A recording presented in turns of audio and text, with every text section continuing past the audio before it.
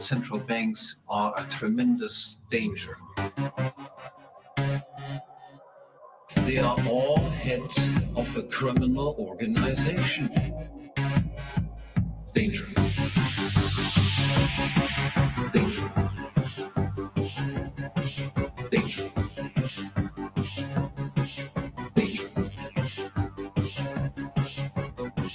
Democratic states are deterioration. The democratic equality before the law is something completely incompatible with the idea of one universal law applying to every person in exactly the same way. Everyone can become king. Everyone can become king. Everyone can become king, so to speak.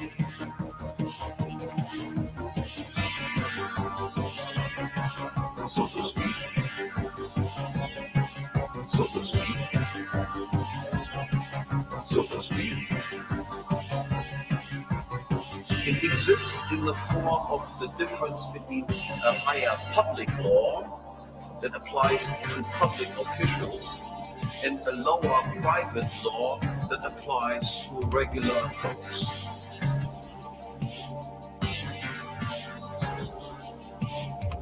under democracy, everyone is equal insofar as entry into government is open to all on equal terms. If, as a private person, I simply take your money out of your wallet, this is considered to be a criminal offense and I will be punished. If, as a public official, I come to you and do exactly the same thing, this falls under public law, is considered to be a legal activity. So to If there's a private law, I take you and keep you up and force you to work for me day and night. This would be considered kidnapping, slavery, and whatever, and is of course a great offense. If I do that as a public official, then it is called public service, military draft, and things like this is perfectly all right. Everyone can engage in theft and live off stolen loot if only he becomes a public official.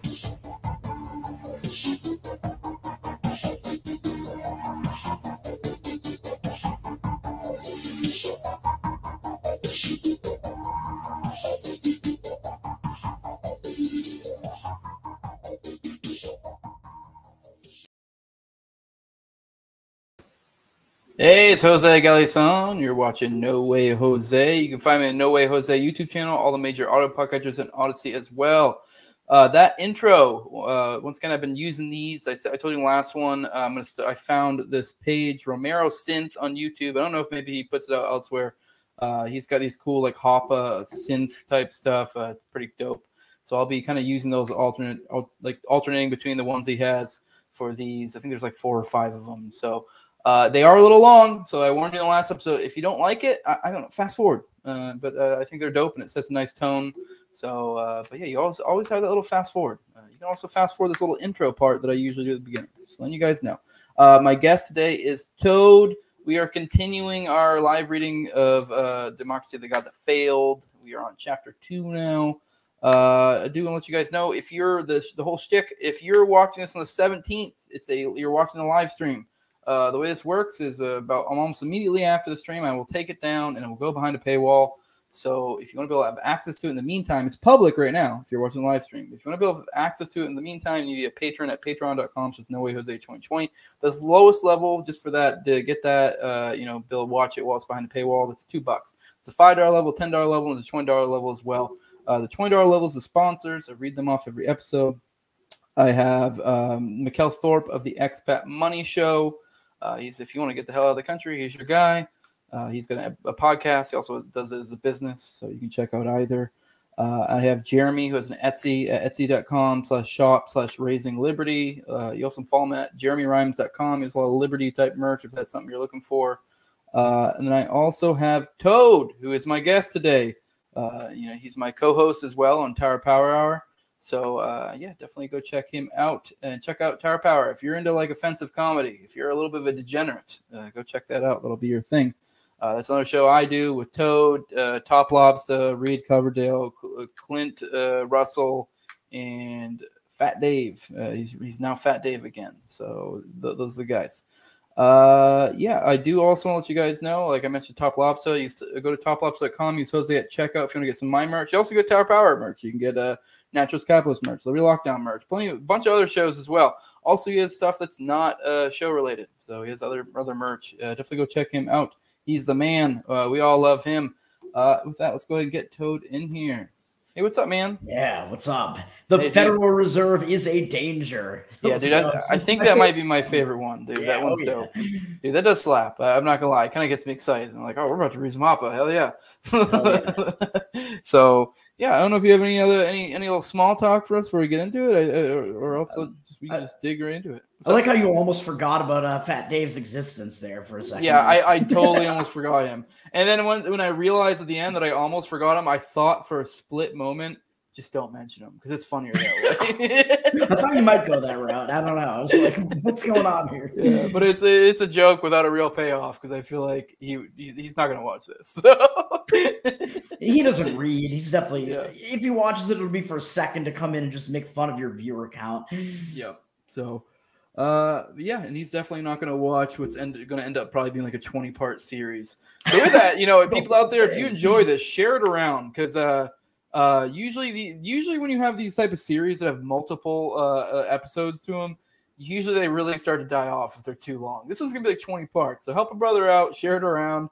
Uh, this is something I want to do anyway, so I'm gonna do it either way. But still, it is kind of shitty. You're like, ah, shit. like, the, views die off with each subsequent one. I'm like, you fuckers, you, you don't. No, no, like the, this book, uh, some of it gets better as it goes. So uh, Yeah, it some really of these later chapters are bangers in this one because Yeah. he gets into really shitting on the Democrats and the left, basically. So my favorite stuff. Well, all right, man. You ready to get into it? I believe we're in chapter two now. Uh, Yeah, we're gonna do uh, the first half of chapter two, uh, which is on monarchy, democracy, and the idea of natural order. So Yep. he is going to be rehashing some of the points that he's already made because he wants all of these chapters to kind of be standalone as well. Mhm. Yeah, so you could, yeah, so you, it is like you are kind of catching some of the stuff from previous things, which uh, I guess that means we'll have, maybe have a little bit less commentary on these ones. We'll see, uh, but uh, yeah, we'll. Uh, I mean, either way, uh, it, Yeah. it- but a lot of books write like this. They'll, they'll really like rehash stuff over and over again because I mean, anyone's done any sports or really just anything that's like uh even with reading, it's like. I mean, how many times you have to uh, do something before you get it down? And the same thing goes with like intellectual pursuits. You gotta gotta really you know rehash the point in multiple different angles before it really sinks in. It's just like I was uh I, I listened to part of the problem for years before I considered myself an anarchist, and like he would make these great points, and uh, it, but it wasn't until I read Anatomy of State that I was like, oh, like I don't know. It just takes like a million different ways for you like okay, all right, you know, before it finally sets in. Yeah, I, I did the whole uh, cliche six months thing, and it was a combination of watching part of the problem uh, for that entire period and reading Anatomy of the State around the same time. So that's It- that's what did it. it really clicked in when I actually started reading. so, like, because I would just listen to podcasts a lot, and then I was like, you know, I want to start reading some of this content, and that's when it really started cl- clicking in. I listened to it for years, but something about reading just really reinforces it. But all right, let's get into it. Uh, on monarchy, democracy, and the idea of natural order.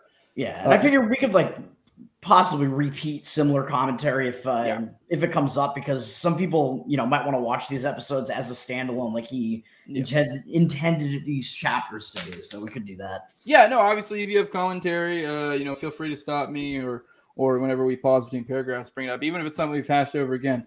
I'm not gonna lie, it's kind of hard to redo commentary I've already done because I just feel like I'm like rehashing conversation. But uh, you know, if it's natural, we'll see, we'll see what happens. Uh, let's get it. Theory: the comparative economics of private and public ownership, uh, public government ownership. A government is a territorial monopolist of compulsion, an agency which may engage in continual institutionalized property rights violations and exploitation in the form of expropriation, taxation, and regulation of private property owners. Assuming no more than self interest on the part of government agents, all governments must be expected to make use of this monopoly and exhibit a tendency towards increased exploitation, which I underline that because I think this is one of those things that like doesn't really click in for a lot of people because it's like just the very existence of government, you know, uh, kind of like presumes the expansion of government because it's just what it does.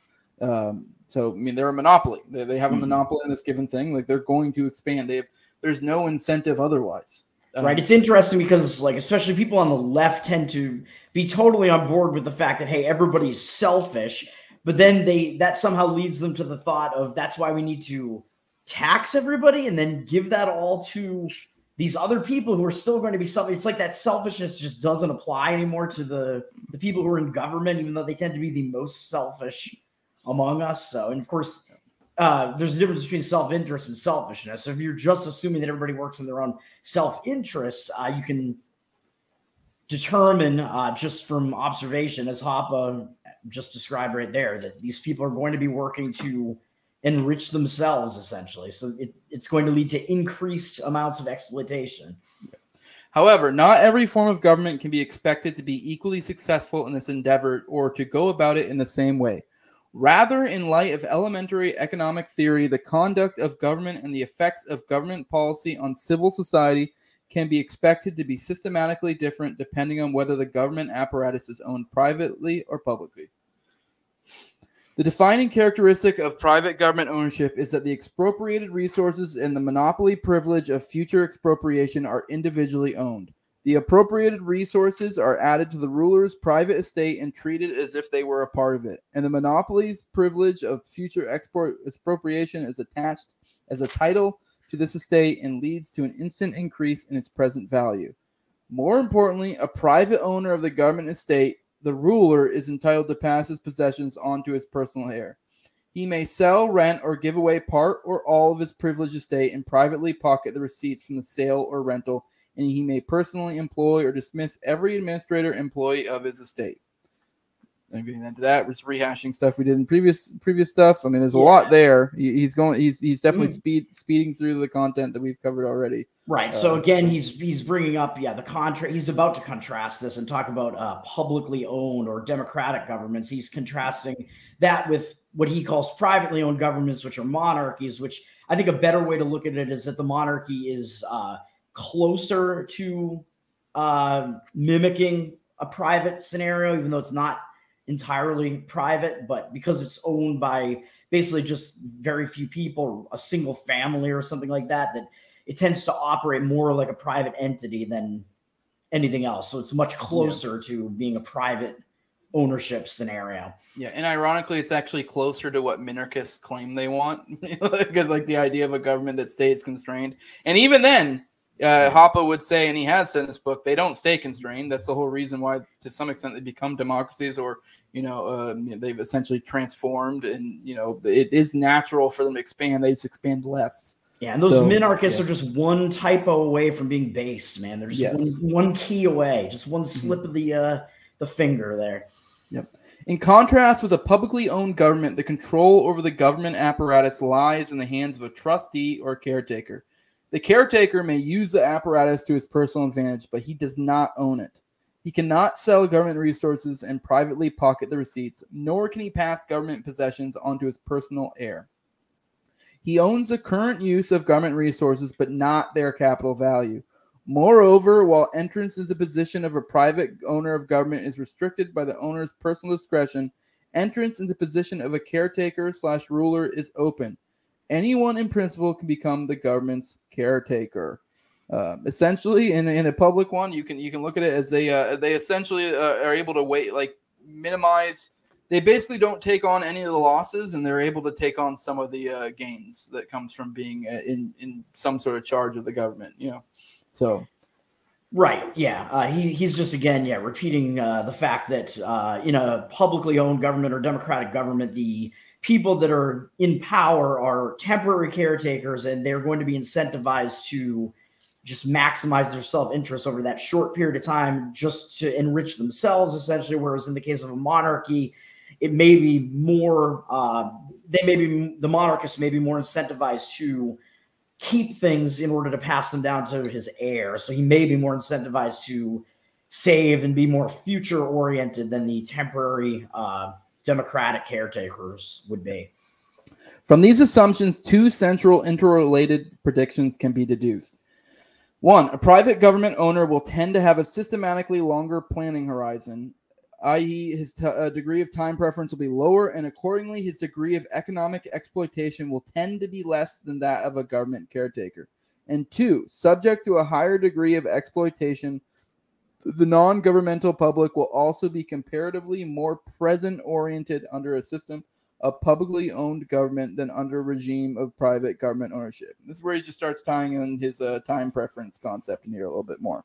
Right. Uh, yeah. He, he applies the time preference uh, idea throughout this whole thing. Right. And again, uh, the democratic system of government is just going to heighten the time preference. I like how he put it in that paragraph, not only of the agents of the government, but the public as well, because the government is uh, you know, stealing more from them, um, expropriating more from them, and just all of the incentives get shifted way more in that type of scenario, so that the public will become uh, a much uh, like their their time preference will be uh, way higher than it would be in, uh, with a monarchy.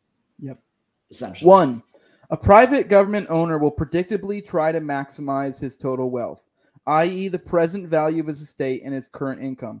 He will not want to increase his current income at the expense of a more than proportional drop in the present value of his assets. Essentially, he this this thing he has has value. The same idea as having a house or something, and so he doesn't want to reduce the value of his of his thing of his house in order to I don't know some sort of temporary gain, uh, or at least you know he may weigh that a little bit more than a caretaker would.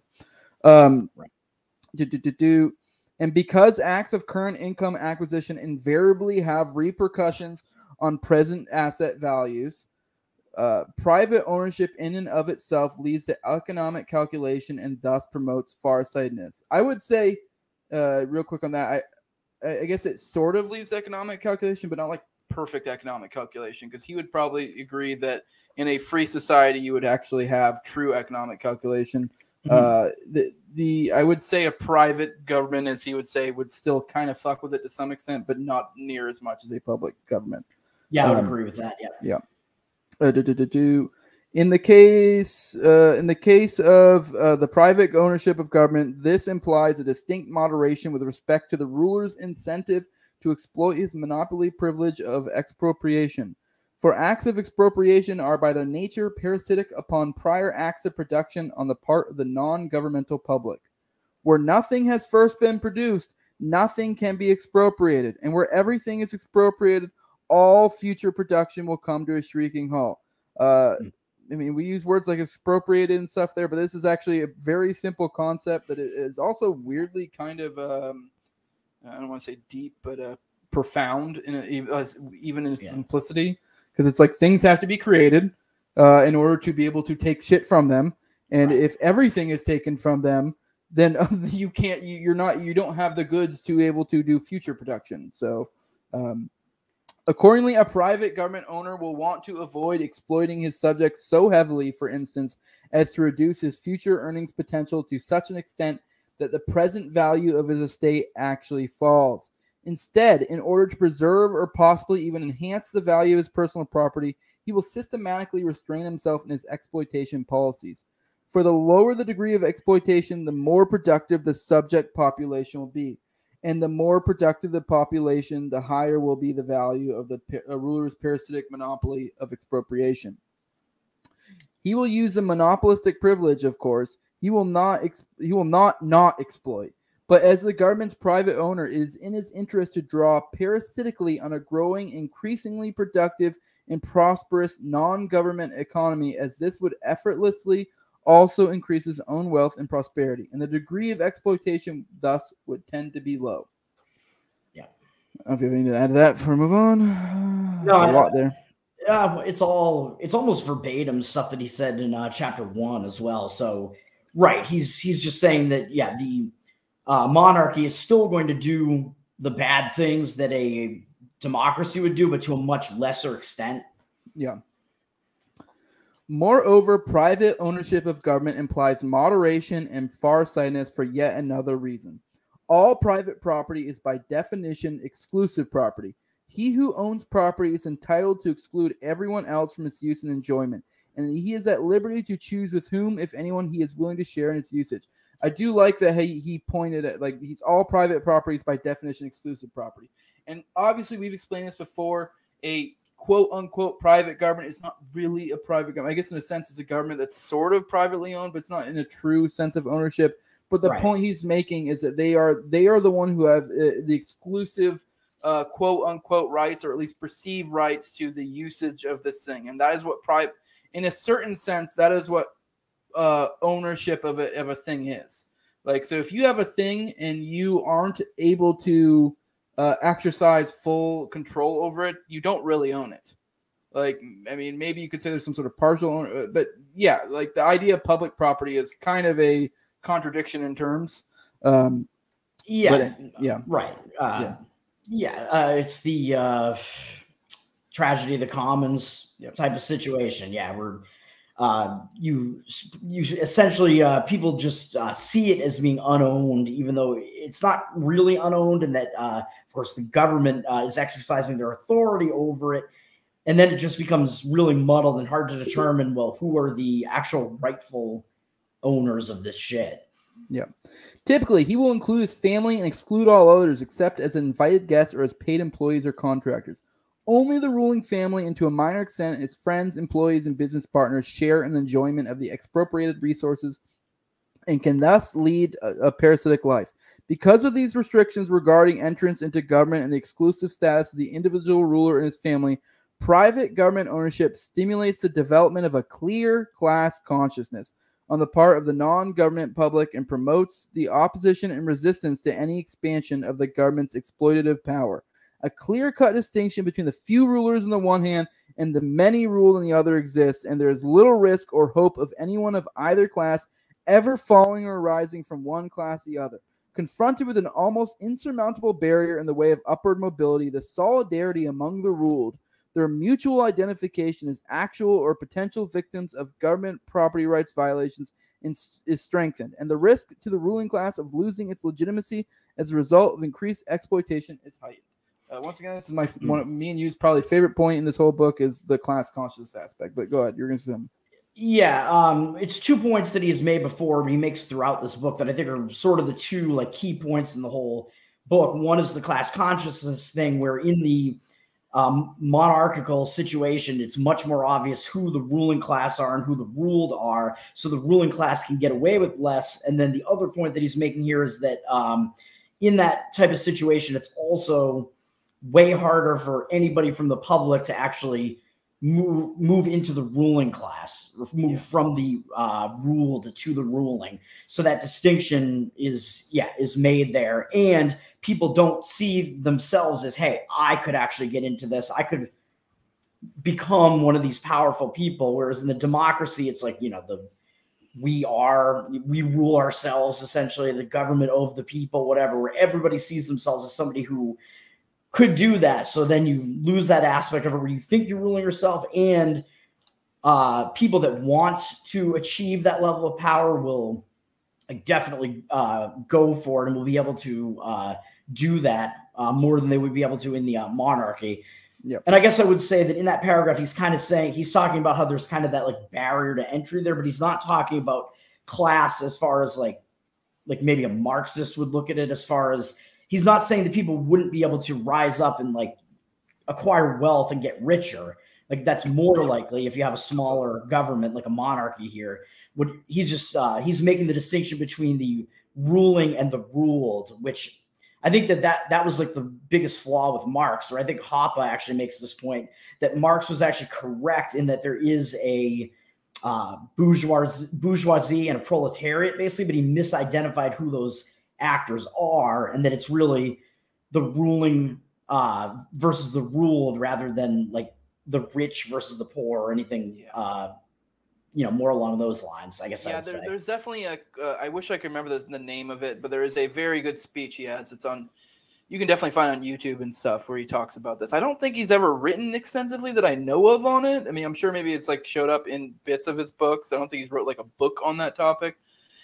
But he has definitely had speeches or a, a, a, very prominent speech on the topic where he, he does you know kind of be like hey marx had a lot of good points and he kind of compares and contrasts marx's Yeah. idea with like kind of you know libertarianism and stuff like that um Yeah. all right in distinct contrast the caretaker of a publicly owned government will try to maximize not total government wealth but current income uh, indeed, even if the caretaker wishes to act differently, he cannot, for as public property, government resources are unsaleable, and without market prices, economic calculation is impossible. Accordingly, it must be regarded as unavoidable that public government ownership will result in continual capital consumption. Instead of maintaining or even enhancing the value of the government estate, as a private owner would tend to do, the government's temporary caretaker will quickly use up as much of the government's resources as possible for what he does not consume now, he may never be able to consume. In particular, a caretaker, as distinct from a government's private owner, has no interest in not ruining his country. For why would he not want to increase his exploitation? If the advantage of a policy of moderation, the resulting higher capital value of the government's estate, cannot be reaped privately, while the advantage of the opposite policy of increased exploitation, a higher current income, can be so reaped. To a caretaker, unlike to a private owner, moderation only ha- has only disadvantages. Right. So that's kind of the same point again, where, yeah, when you have temporary caretakers of government, they have no uh, incentive to save any of that. So it's just consume, consume. And their actions also cause the public to behave in that manner as well, where, as we see, and a lot of it does have to do with the Federal Reserve. Uh, keeping interest rates uh, way lower than they would be otherwise, just constantly uh, incentivizing uh, spending and borrowing rather than saving.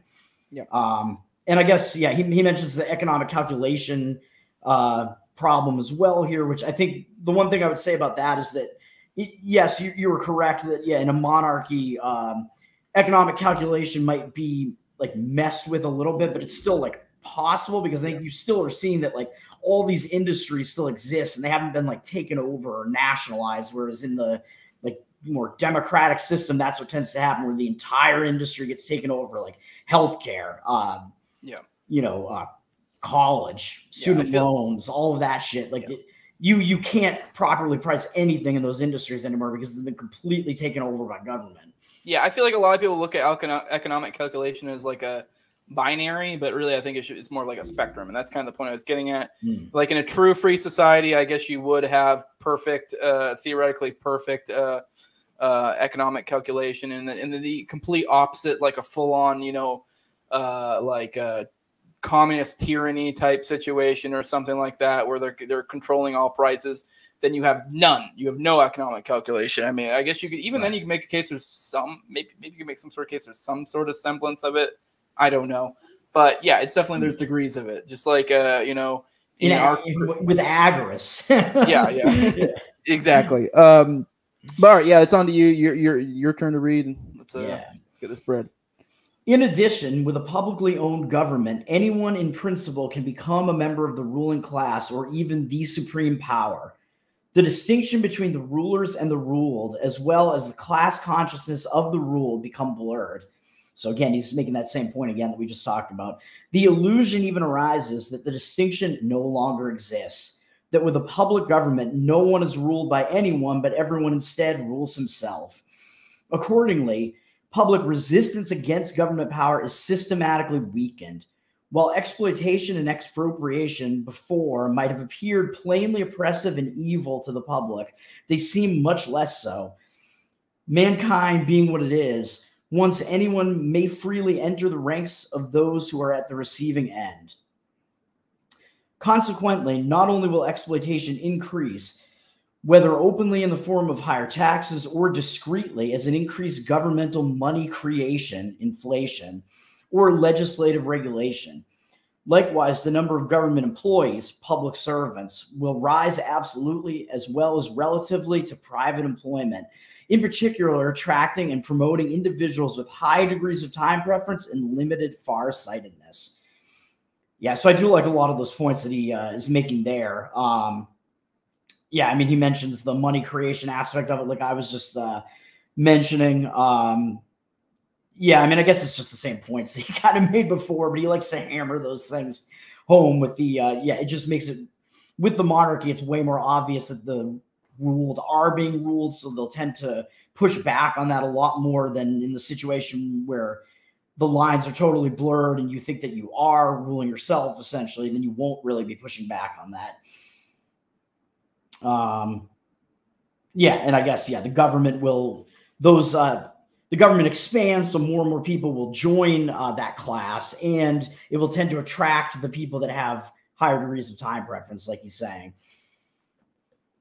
Um, you know, that's how the incentives would line up. In contrast to the right of self defense in the event of a criminal attack, the victim of government violations of private property rights may not legitimately defend himself against such violations.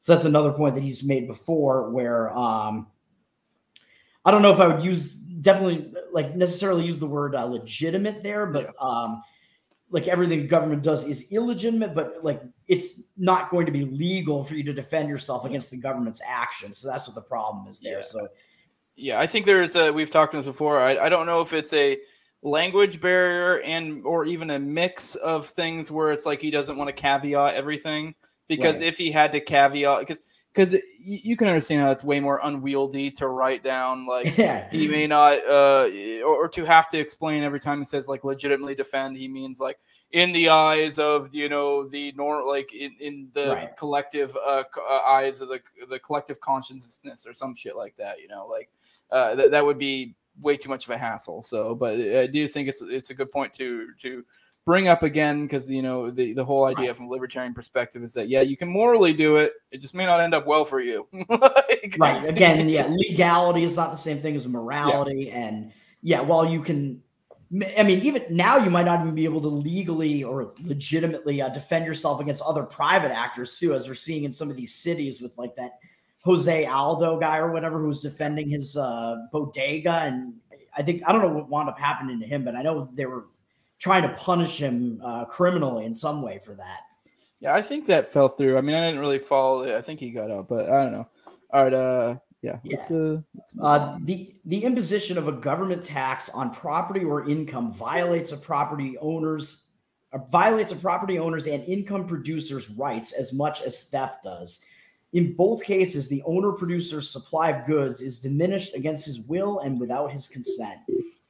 Government money or liquidity creation involves no less a fraudulent expropriation of private property owners than the operations of a criminal counterfeiting gang. Yes, that's another good point there where yeah, the government is basically just they're a legal counterfeiting organization essentially where they're just creating money that is not backed by anything and in that way as he pointed out it's way more insidious too because unlike with a tax where you can see that you have money being taken from you you might not um, be as likely to notice that when uh, the money that's being taken from you is uh, being taken from you by way of the dollar being devalued instead by more of it being created uh, with nothing behind it.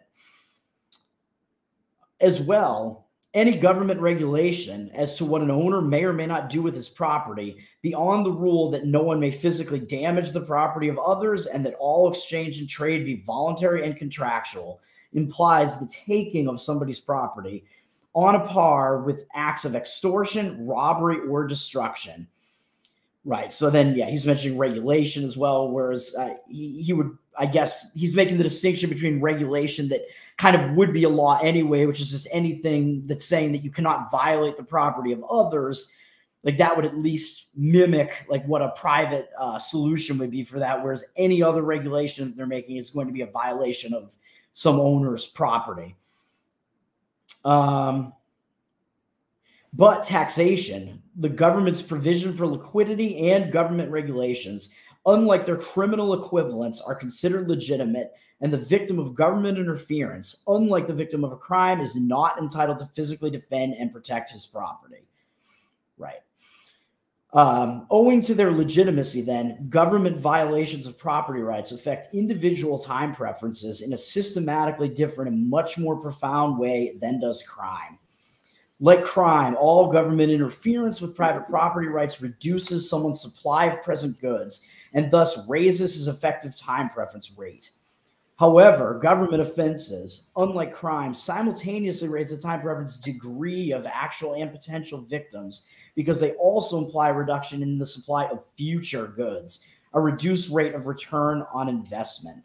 So he's kind of getting into that curve that we showed uh, way back in chapter one somewhere, where you have um, you can have different time preferences at any given time, but then there's also like the degree of it where you, your entire curve gets shifted because when the government is violating your property, it's a permanent and expected thing. Yep. So you know that that violation of your property is just going to be constant forever. So you have to adjust permanently to that and heighten your time preference degree entirely Mhm. against that. Whereas if it was just a private uh, actor coming at you in a temporary situation, you would only have to adjust your time preference temporarily to defend against that or to shift your incentives against that, I should say.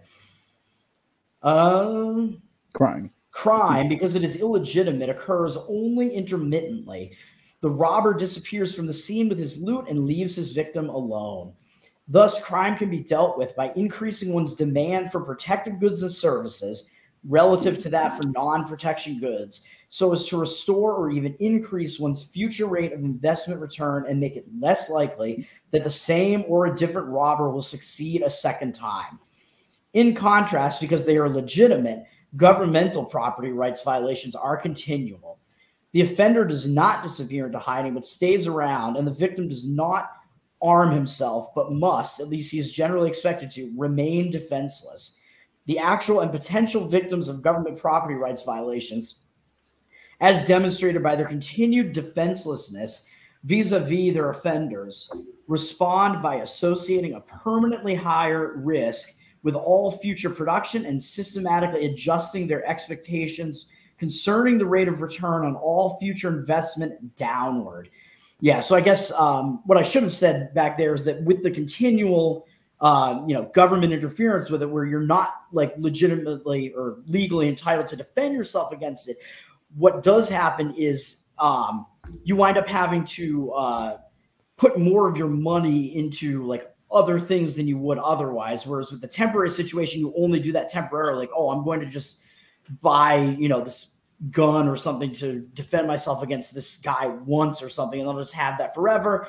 And you know, the rest of the time, that money that I would have spent, you know, not buying that gun, I could, you know, the rest of the time I'm not buying more guns, so I can spend that money on the productive things that I would be spending them on anyway. Whereas with the government, you're going to just shift what you're doing entirely because you're expecting to have less uh, in the future, basically. If that makes sense, I don't know. I'm rambling.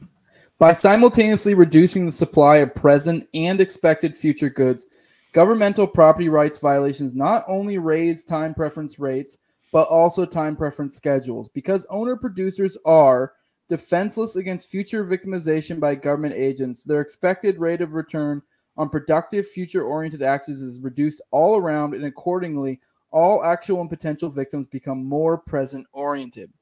Yeah. Moreover, because the degree of exploitation is comparatively higher under a publicly owned government, this tendency towards present orientation will be significantly more pronounced as if the government is publicly owned than if it is owned privately.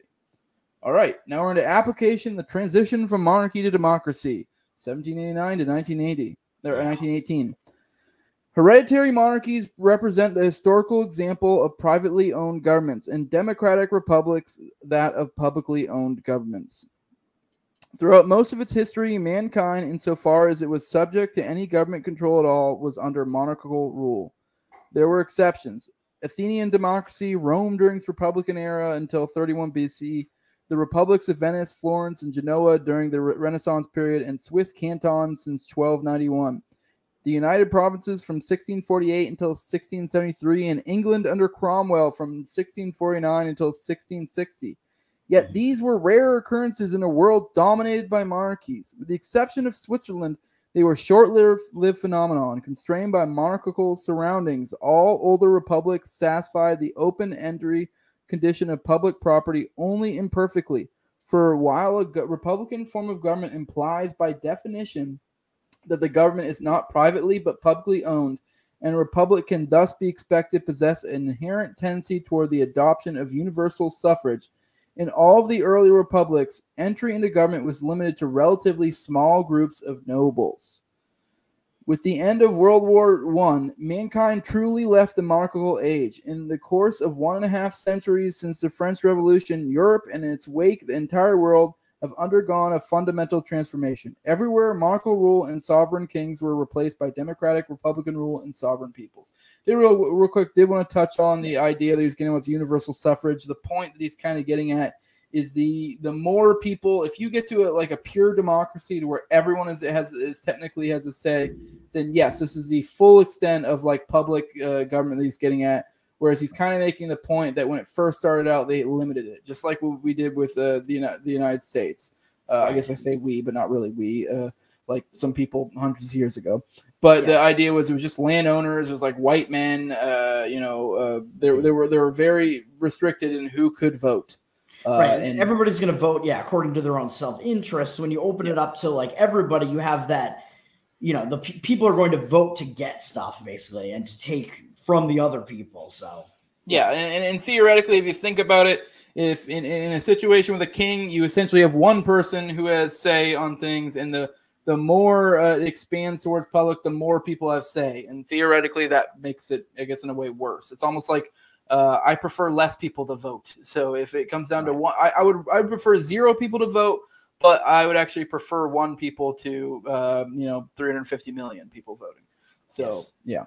yeah. Um, all right. The first assault of republicanism and the idea of popular sovereignty on the dominating monarchical principle was repelled with a military defeat of Napoleon and the restoration of Bourbon rule in France. And as a result of the Revolutionary Terror and the Napoleonic Wars, republicanism was widely discredited for much of the 19th century.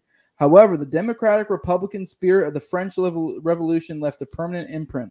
From the restoration of the monarchical order in 1815 until the outbreak of World War I in 1914, all across Europe, popular political participation and representation was systematically expanded.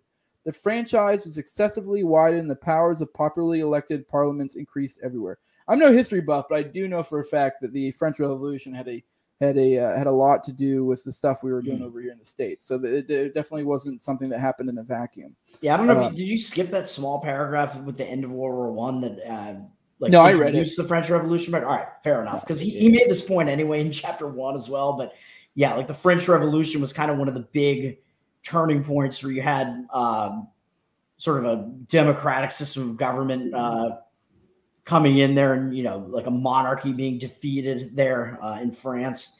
Yeah. It's funny that the, it's like the French Revolution's held up as this great thing, but if you actually look into it, once again, I'm no history buff. You realize how pretty much pretty fucking retarded. It, it, resulted in the reign of terror, and then Napoleon yeah. took over after that. So yeah, it was a complete and utter shit show that like was just um, just hell. like, yeah. And like, yeah, cool. They killed some tyrants, but it's like they also killed a lot of innocent people and yes. completely you know, plunged their country into shit. Mm-hmm. From 1815 to 1830, the right to vote in France was still severely restricted under the restored Bourbons. Yeah. Out of a population of some 30 million, the electorate included only France's very large property owners, about 100,000 people. As a result of the jo- July Revolution of 1830, the abdication of Charles X, and the coronation of the Duke of Orleans, Louis Philippe, the number of voters increased to about 200,000. As a result of the revolutionary upheavals in, of 1848, France again turned Republican, and universal and unrestricted suffrage for all male citizens above the age of 21 was introduced. Napoleon III was elected by nearly 5.5 million votes out of an electorate of more than 8 million. Right. All right. Yeah, yeah. So all of that was after uh, the famous Napoleon, Napoleon Bonaparte, had been defeated uh, in 1815, I believe. So all of that that you just mentioned happened after that. Uh, all right. In the United Kingdom, after 1815, the electorate consisted of some 500,000 well to do property owners, about 4% of the population above age 20. The Reform Bill of 1832 lowered the property owner requirements and extended the franchise to about 800,000. The next extension from about 1 million to 2 million came with the second Reform Bill of 1867 in 1884, property restrictions were relaxed even further, and the electorate increased to about 6 million. almost a third of the population above age 20, and more than three fourths of all male adults. Yeah, definitely way too high. But go on. Uh, yes, way too high. So that was uh, the UK. Their uh, transition to yeah, having way more people being allowed to vote. In Prussia, as the most important of the 39 independent German states recognized after the Vienna, Con- Vienna Congress, democratization set in with the Revolution of 1848 and the Constitution of 1850. The lower chamber of the Prussian parliament was hence elected by universal male suffrage. However, until 1918, the electorate remained stratified into three estates with different voting powers. For example, the wealthiest people, those who contributed a third of all taxes, elected a third of the members of the lower house. In 1867, the North German Confederation, including Prussia and 21 other German states, was founded. Its constitution provided for universal unrestricted suffrage for all males above the age of 25. In 1871, after the victory over Napoleon III, the Constitution of the North German Confederation was essentially adopted by the newly founded German Empire. Out of a total population of around 35 million, nearly 8 million people, or about a third of the population over 20, elected the first German Reichstag. So, yeah, I don't know if we have anything to add to that, but that's, you know, he's kind of just going through the history of all the different uh, states here. So that was sort of Prussia's uh, transition into Germany and the German Empire. Yeah, it won't be a whole lot of commentary in the next couple pages. It's mostly just history stuff. but Yeah. yeah. All right. Um, after Italy's political unification under the leadership of the Kingdom of Sardinia and Piedmont in 1861, the vote was only given to about 500,000 people out of a population of some 25 million, about 3.5% of the population above age 20. In 1882, the property requirements were relaxed and the minimum voting age was lowered from 25 to 21 years. As a result, the Italian electorate increased to more than 2 million. In 1913, almost universal and unrestricted suffrage for all males above 30 and minimally restricted suffrage for males above 21 was introduced, raising the number of Italian voters to more than 8 million, more than 40% of the population above 20 uh, yeah, and I, I guess I will just say that you know also like lowering the voting age is another thing you see that is the government's way of getting more and more people because they want these types of governments want to increase the voting base. Yeah. And I like you know reading this and then sort of applying it to what we see current day in the U.S. Like we see that happening all over the place. Like let's import all these people from different countries. You have Democrats wanting to lower the voting age to like 16 or something ridiculous. You can vote before you can smoke and drink. Right. like, Yeah. like, which is it's still wild for me being like in my 30s that now they changed the age of smoking to 21. it's just like what? But whatever. Yeah. Yeah. Yeah. Uh, in Austria, restricted and unequal male suffrage was introduced in 1873. The electorate, com- composed of four classes or curiae of unequal voting powers, totaled 1.2 million voters out of a population of about 20 million, 10% of the population above 20. In 1867, a fifth curia was added. 40 years later, the curia system was abolished and universal and equal suffrage for males above age 24 was adopted, bringing the number of voters close to 6 million, almost 40% of the population above 20. Russia had elected provincial and district councils, Zemstvos, since 1864. And in 1905, as a fallout of its lost war against Japan, it created a parliament, the Duma, which was elected by near universal, although indirect and unequal male suffrage. As for Europe's minor powers, universal or almost universal and equal male suffrage has existed in Switzerland since 1848 and was adopted between 1890 and 1910 in Belgium, the Netherlands, Norway, Sweden, Spain, Greece, Bulgaria, Serbia, and Turkey. Um, I don't know if you have anything to add to that, but No, yeah, not really. going over, yeah, the increased suffrage in all of the different uh, European states. He's being thorough here.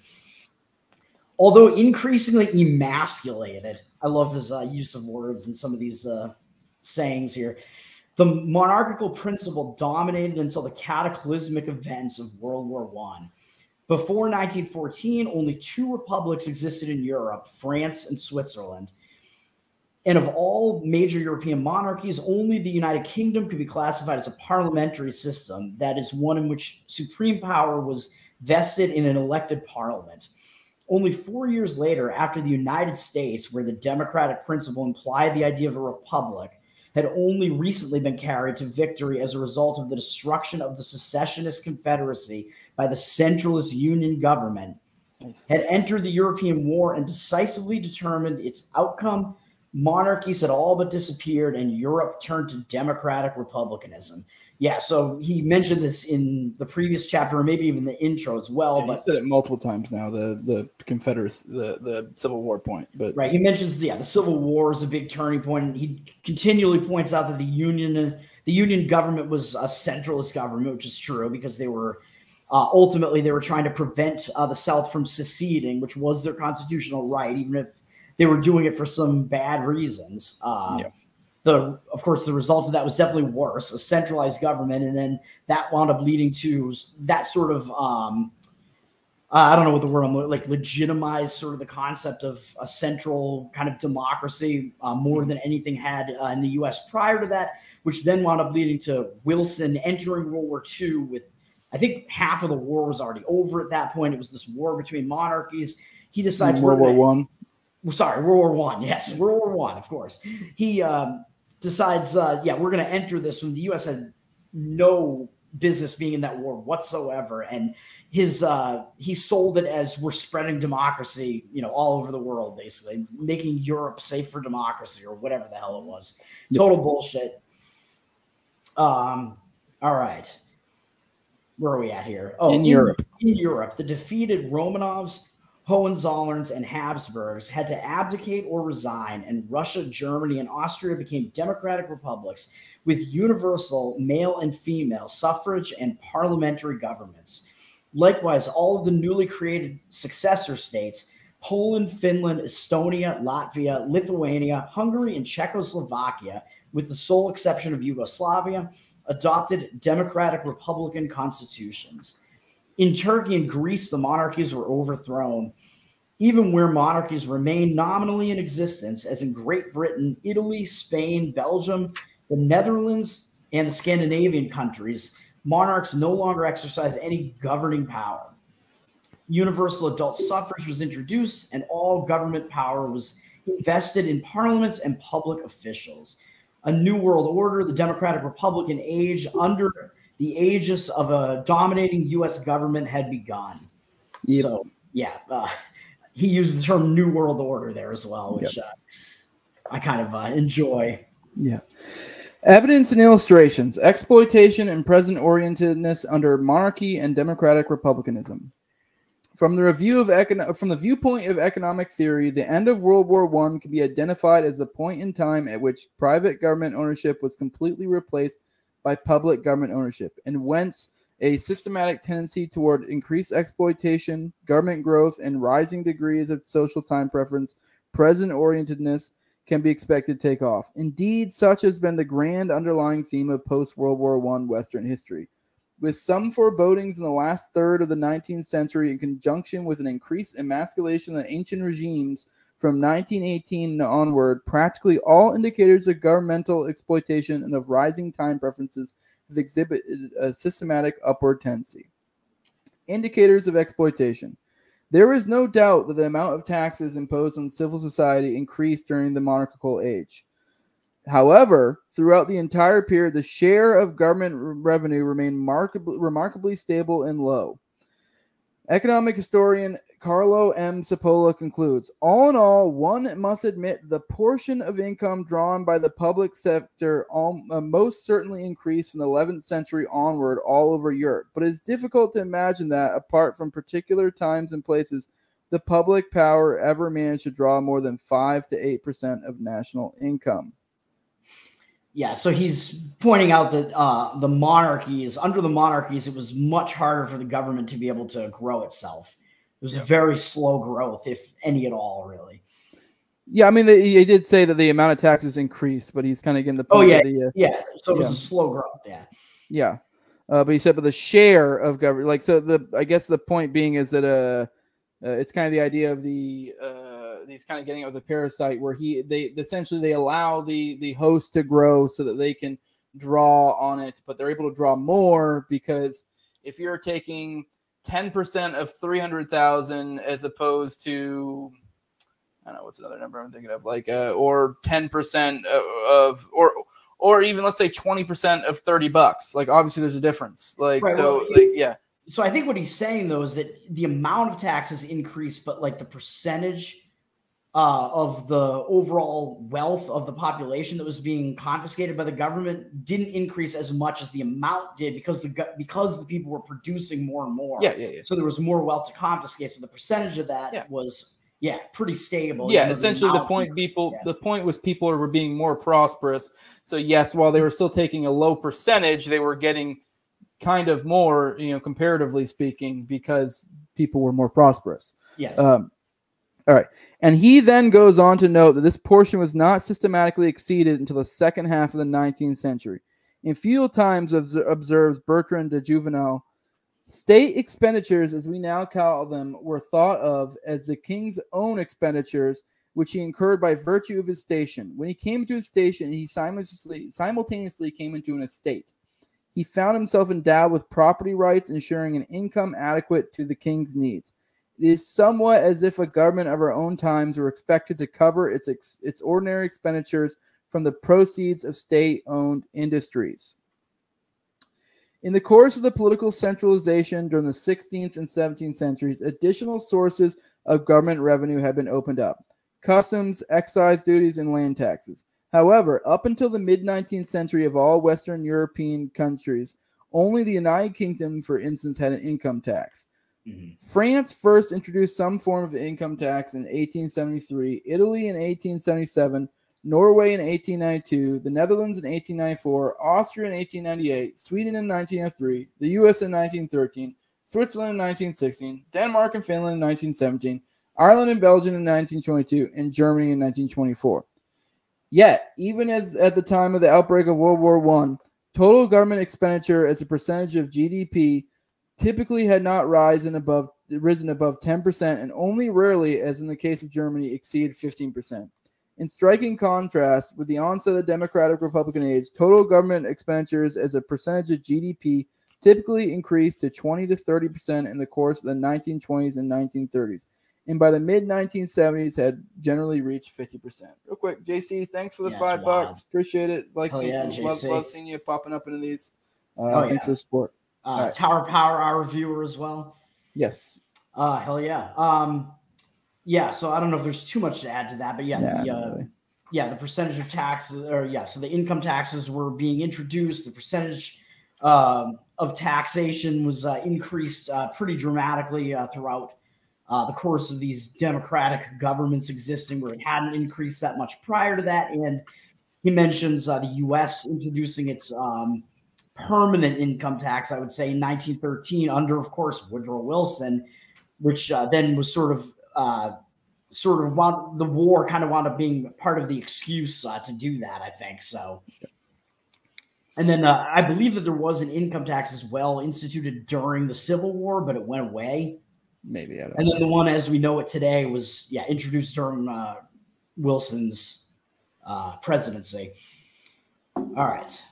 There is also no doubt that total government employment increased during the monarchical age, but until the very end of the 19th century, government employment rarely exceeded 3% of the total labor force. Royal ministers and parliamentarians typically did not receive publicly funded salaries, but were expected to support themselves out of their private incomes. In contrast with the advances of the process of democratization, they became salaried officials and since then, government employment has continually increased. In Austria, for instance, government employment as a percentage of the labor force increased from less than 3% in 1900 to more than 8% in the 1920s and almost 15% by the mid 1970s. In France, it rose from 3% in 1900 to 4% in 1920 and about 15% in the mid 1970s. In Germany, it grew from 5% in 1900 to close to 10% by the mid 1920s to close to 15% in the mid 15% in the mid 1970s. In the United Kingdom, it increased from less than 3% in 1900 to more than 6% in the 1920s, and again close to 15% by the mid 1970s. The trend in Italy and almost everywhere else was similar, and by the mid 1970s, only in small Switzerland was government employment still somewhat less than 10% of the labor force. So he is saying that there were more government employees uh, under some monarchical regimes. However, in most of those cases, uh, they were sort of being paid like privately, I suppose is kind of what he's saying. Like maybe they were like hired by the king to do work and things of that nature. I don't know if that maybe what he's talking about there, but um, as Yeah, I opposed think- to, Go ahead. Yeah, well, yeah, these democratic systems where there's basically there isn't that barrier to entry anymore. So you have all these new people getting into government. But I, I do find it interesting that even still, the percentage of people that are government employees is even though it's pretty insidious at this point, it's still somewhat low. Like the I'm pretty certain that the number of non-government people, or at least people that are sort of uh, opposed to uh, like the the rulers, essentially. I, I think that that amount of people. I don't know how to phrase that, but I think like the the ruled class is still much higher in numbers than the ruling class. Is what I'm trying to say here. Even like in the U.S. right now. Yeah, I don't know. He said the 15% of the mid 1970s. So that's over one in 10 people are working in the government. And that's in the 70s. So I'm it's probably upward near 20 now.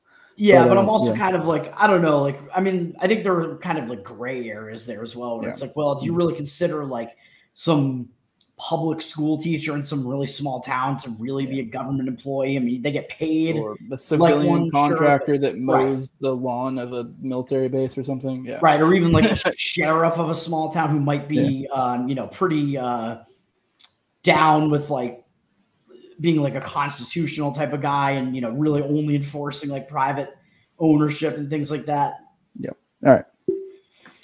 all right um, a similar pattern emerges from an inspection of inflation and data on money supply yeah the monarchical world was generally characterized by the existence of a commodity money, typically silver or gold. And at long last, after the establishment of a single integrated world market in the course of the 17th and 18th centuries by an international gold standard. A commodity money standard makes it difficult, if not impossible, for a government to inflate the money supply. In monopolizing the mint and engaging in coin flipping, kings did their best to enrich themselves at the expense of the public. There also had been attempts to introduce an irredeemable fiat currency. Indeed, the history of the Bank of England, for instance, from its inception in 1694 onward, was one of the periodic suspension of specie payment. In 1696, 1720, 1745, and from 1797 until 1821. But these fiat money experiments, associated in particular with the Bank of Amsterdam, the Bank of England, and John Law and the Banque Royale of France, had been regional curiosities which ended quickly in financial disasters, such as the collapse of the Dutch tulip mania in 1637 and the Mississippi bubble and the South Sea bubble in 1720. As hard as they tried, monarchical rulers did not succeed in establishing monopolies of pure fiat currencies, i.e., of irredeemable government paper monies, which can be created virtually out of thin air at practically no cost. No particular individual, not even a king, could be trusted with an extraordinary monopoly such as this. So, yeah, there's kind of a lot in that paragraph. Um, Obviously, he's saying that monarchies were not able to get away with uh, creating fiat currency uh, like democratic governments are, where, as we point out time and time again, the Federal Reserve, and we use that Hopper wave uh, Federal Reserve one uh, to intro this uh, episode here. Uh, Federal Reserve is obviously constantly creating money out of nothing, fiat currency, and uh, part of that has to do with the fact that there is no more gold standard, so there is you know nothing backing that money anymore. So the government can kind of just do that in an out of control nature. Whereas I guess back when the monarchies existed, we did also have that like gold standard, and we we did have those hard um, monies that existed. I think that and also just again the um, like those monarchies not being really seen as legitimate rulers, they could get away with less of this money creation and things like that. I think we have all of that kind of going on there. Yeah, I mean, really, and a lot of the other stuff that he talked on too about the incentives that come into the monarchy really does play into how it made it way harder for them to be able to get away with a fiat type thing. Uh, but yeah, yeah. Um, and I, don't know too much about the Dutch uh, tulip mania. Really, I should like look into that more. But I know it was like considered to be one of the first like bubble burst scenarios, essentially. So I assume it had something to do with some sort of fiat currency experiment, which he's kind of saying here. But I don't know too much about that. Yep. Um, and of course, people use it as a, a damning indictment of capitalism. Oh no, which is not actually the case. Uh, it was only under conditions of democratic republicanism, of anonymous and impersonal rule, that this feat was accomplished. During World War One, as during earlier wars, the belligerent governments had gone off the gold standard. Everywhere in Europe, the result was a dramatic increase in the supply of paper money. In defeated Germany, Austria, and Soviet Russia, in particular, hyperinflationary conditions ensued in the immediate aftermath of the war. Unlike earlier wars, however, World War I did not conclude with a return to the gold standard. Instead, from the mid 1920s until 1971, and interrupted by a series of international monetary crises, a pseudo gold standard, the gold exchange standard, was implemented. Essentially, only the US would redeem dollars and gold. And from 1933 on, after going off the gold standard domestically, only to foreign central banks.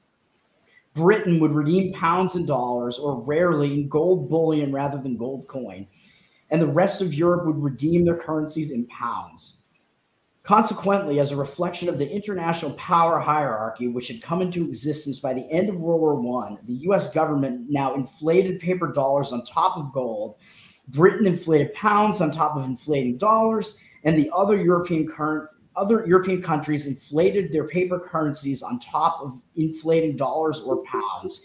And after 1945, only dollars. Finally, in 1971, with ever larger dollar reserves accumulated in European central banks and the imminent danger of a European run on the US gold reserves, even the last remnant of the international gold standard was abolished. Since then, and for the first time in history, the entire world has adopted a pure fiat money system of freely fluctuating government paper currencies. Yep. So there's yeah a lot of uh, the history of currency and banking kind of in that one paragraph there, but he is pointing out that yes, so the U.S. Um, went off the gold. Well, first they created the Federal Reserve again under Woodrow Wilson, uh, which I believe was also in 1913 or somewhere around there. So they started uh, that paper money printing that we're familiar with today. Um, they were doing that. Then uh, the U.S. went off the uh, the gold standard, so the, the money was not uh, actually backed by gold anymore. And I know that uh, under FDR, as I think uh, mentioned here, they uh, made it illegal to own gold anymore in the U.S. So it was essentially confiscated from the public at that point in 1933 or whatever, um, which was yeah during the Depression as well. Um, then uh, there was the pseudo gold standard that existed uh, from whatever, like in the 1920s or whatever, up until 1971, which was the gold exchange, which was even though uh, private citizens could no longer uh, own gold, uh, the dollar was in a way sort of still backed by gold, just in that foreign countries could still exchange their gold for the US dollar. Then in 1971, the US realized that that was going to be unsustainable because the uh, all those countries had so much gold. Uh, the U.S. was afraid that there was going to be a run on the central bank, I guess, or on the U.S. gold reserves. Uh, the uh, or on the U.S. Uh, what on the currency? I, I forget on the currency reserve, I guess, right? Yeah, I, I don't I don't recall specifically. I'm trying to remember now, but whatever yeah. it was, yeah. So they went off the gold exchange, so um, money was no longer even uh, redeemable uh, or gold is no longer redeemable for money anymore. Am I getting that backwards? Something like that. I, I don't recall. I, I know essentially it just got to the point to where it's just completely paper money. It's not backed up by anything. Right. So in 1971, that was the Bretton Woods uh, agreement, and uh, yeah, that's when the last remnants of the gold standard went away completely, and that's when you saw inflation just completely spike and go out of control. Money printing just went out of control. Yeah, it was what I said in the first place. I think was the case. It was that the these foreign uh, governments still all had this gold, and they're like, "Hey, we can redeem this uh, for U.S. dollars," and the U.S. was like, "Well, we can't sustain this anymore, right?"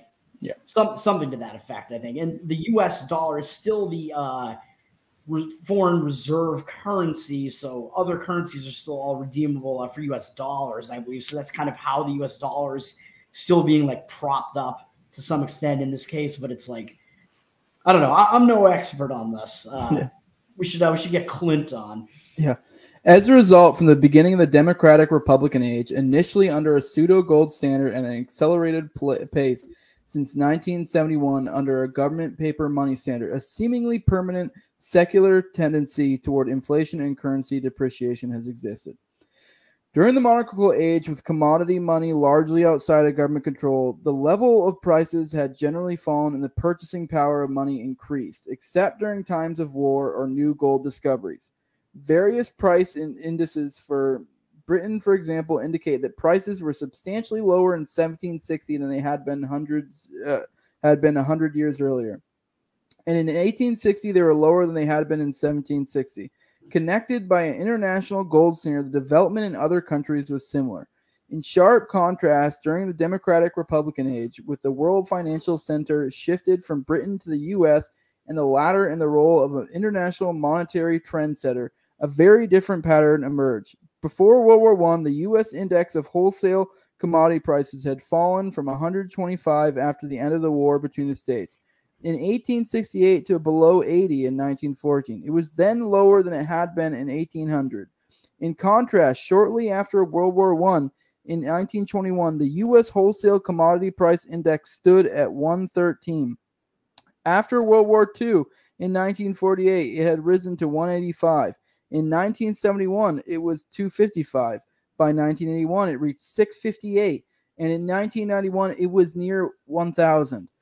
During only two decades of irredeemable fiat money, the consumer price index in the US rose from 40 in 1971 to 136 in 1991.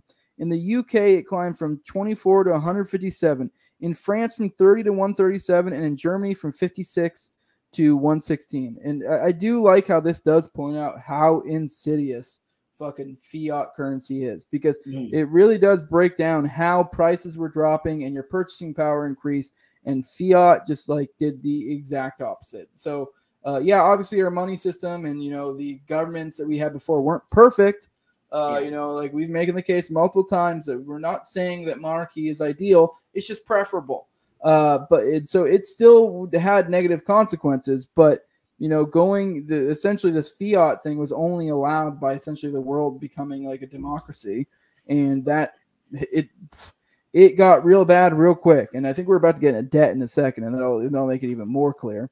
Right. The the main point that he made there was just that, yeah, with the uh, creation of fiat currency, uh, creating all that uh, supply of currency reduces the value of that currency and increases prices, and that's what we saw. Whereas with the monarchies, we did not see very much of that, uh, where everything became way more expensive. And I think I did reverse the uh, gold thing, by the way. I think it was that foreign countries had U.S. dollars and they were still allowed to exchange them for the U.S. gold or for gold that was in the U.S. gold reserves up until the U.S. was like, oh shit, we don't have enough gold anymore to uh, you know account for all of this. So then they had to just go off that completely. I think that's what happened. Similarly, during more than 70 years from 1845 until the end of World War I in 1980, the British money supply had increased about sixfold. In distinct contrast, during the 73 years from 1980 till 1991 or 1918 till 1991, the U.S. money supply increased more than 64-fold. In mm-hmm. addition to taxation and inflation, a government can resort to debt in order to finance its current expenditures. As with taxation and inflation, there is no doubt that government debt increased in the course of the monarchical age. However, as predicted theoretically, in this field, monarchs also showed considerably more moderation and farsightedness than democratic Republican caretakers. Throughout the monarchical age, government debts were essentially war debts. While the total debt thereby tended to increase over time, during peacetime, at least monarchy, monarchs uh, characteristically reduced their debts. The British example is fairly representative. In the course of the 18th and 19th centuries, government debt increased. It was 76 million pounds after the Spanish War in 1748, 127 million after the Seven Years' War in 1763, 232 after the American War of Independence in 1783, and 900 million after the Napoleonic Wars in, in 1815. During yet during each uh, peacetime period from 1727 to 1739, from 1748 to 1756, and from 1762 to 1775, total debt actually decreased. From 1850 until 1940, the British national debt fell from a total of 900 to below 700 million pounds. And we're, I think he's going to you know, mm. expand on the debt thing more. But the, the, the point being is like all these economic things, it, it, these are pretty wild to, to read actually from a modern day perspective and what our money does. Like obviously we talked yeah. about inflation and like the, the purchasing power of your dollar.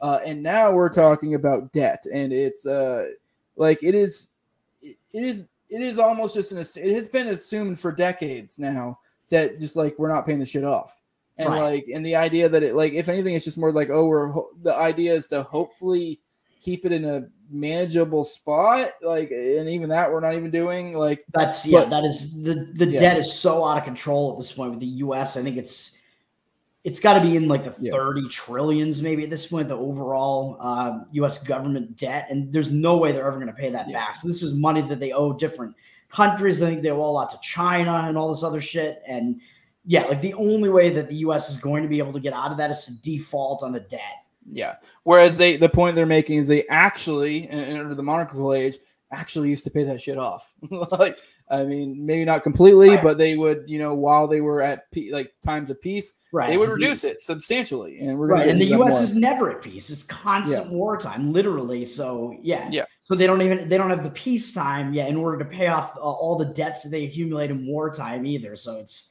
yeah, yeah, it's just constant war and constant debt. Yep. In striking contrast, since the onset of the Democratic Republican age, British debt has only increased in war and in peace. In 1920, it was 7.9 billion pounds. In 1838, 8, or 1938, 8.3 billion. In 1945, 20 point, or 22.4 billion. In 1970, 34 billion, and since then it has skyrocketed more than 190 billion pounds in 1987. Likewise, U.S. government debt has increased through war and peace. Federal government debt after World War I in 1919 was about 25 billion dollars. In 1940, it was 43 billion and after World War II in 1946, it stood at about 270 billion. By 1970, it had risen to 370 billion. And since 1971, under a pure fiat money regime, it has literally exploded. In 1979, it was about 840 billion. And in 1985, more than 1.8 trillion. In 1988, it reached almost 2.5 trillion. By 1992, it exceeded three trillion, and presently it, stand, it stands at uh, approximately six trillion. Yeah, Obviously, it's, it's changed since then. But yeah, it's hilarious to read that now because this was uh, whatever, like 2000 somewhere around there. Yeah. And this is he's talking about the U.S. national debt, right? It's six trillion yeah. at that point, and it's now above 30. Yeah. All right. Uh, on to you. Uh, let's let's uh let's end at the uh, end of the. Uh, I guess I probably could just finish it, but the the, de Jouvenel. But I'll, at the end of the end of de Jouvenel quote here? Yeah. Yeah, we can do that. Uh, it might be a weird transition on the next episode, but I think that's all right. All right. Um, finally, the same tendency toward increased exploitation and present orientation emerges upon examination of government leg- legislation and regulation. During the monarchical age, with a clear cut distinction between the ruler and the ruled, the king and his parliament were held to be under the law they applied pre existing law as judge or jury. They did not make law. Writes Bertrand de Jouvenel, the monarch was looked on only as judge and not as legislator. He made subjective rights respected and respected them himself. He found these rights he found these rights in being and did not dispute that they were anterior to his authority. Subjective rights were not held on the precarious tenure of grant but were freehold possessions. The sovereign's right was also a freehold. It was a sub it was a subjective right as much as the other rights, though of a more elevated dignity, but it could not take the other rights away. Indeed, there was a deep-seated feeling that all positive rights stood or fell together. If the king disregarded a private citizen's title to his land, so might the king's title to his throne be disregarded. The profound, if, if obscure concept of legitimacy established the solidarity of all rights. No change in these rights can be effected without the consent of their holders. Yep. And I guess the next episode we'll probably expound more on this concept. Right. So touched on it. Yeah, so in the monarchical age, he's saying that uh, private property was more respected. Essentially, is a, a very long way of saying that with that quote Yep. there from de Jouvenel. Yep. Well, all right. Let's uh let's get out of here. You want to drop your plugs, Toad?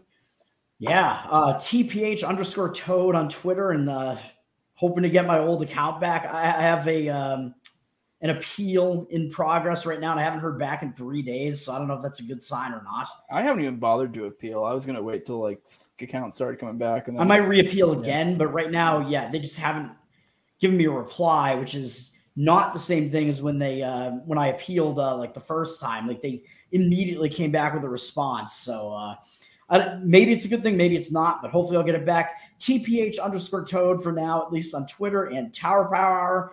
We are live every Wednesday night at 9 11 p.m. Eastern. We do offensive comedy and we're all libertarians. And um, we did an episode last night with Adam Nutter and got a little bit wild, I think, as they tend to do.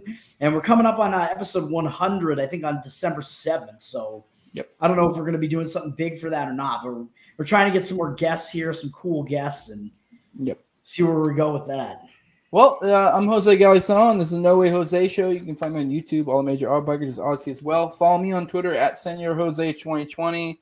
Uh, if you want to follow me, you can do me on Facebook as well, Jose Galison. If you want to support me, patreon.com, just No Way Jose 2020.